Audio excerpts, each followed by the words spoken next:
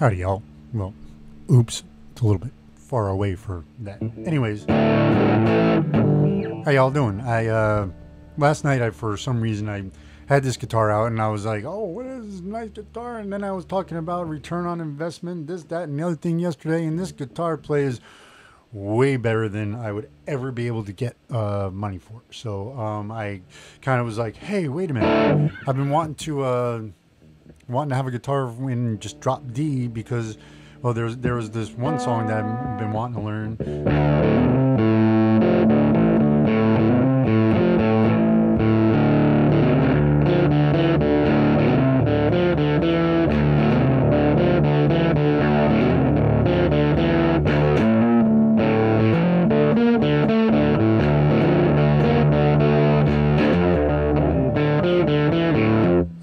Needs work, it's a Tool song.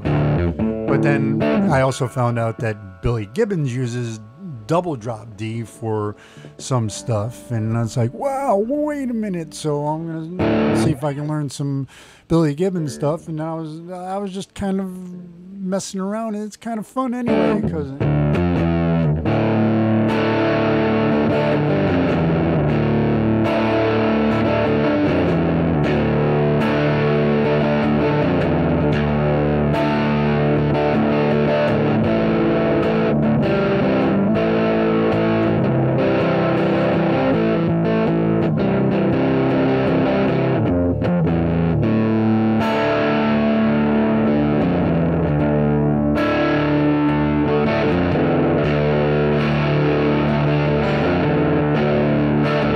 So yeah, and you can, you can still play chords around.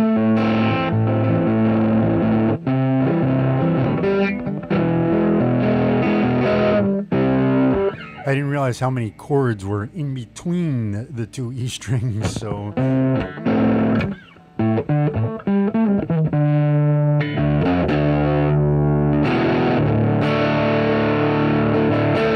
Anyways, uh, so yeah, I,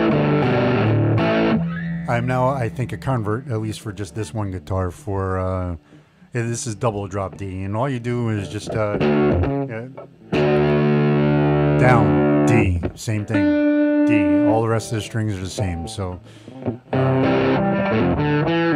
so yes, you basically have three D strings right now.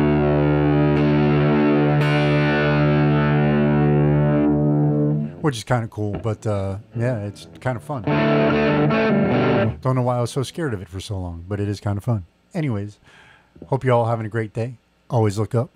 It's nice sunny day out actually too. It's weird, but anyways, always look up. I'll see you then. Peace.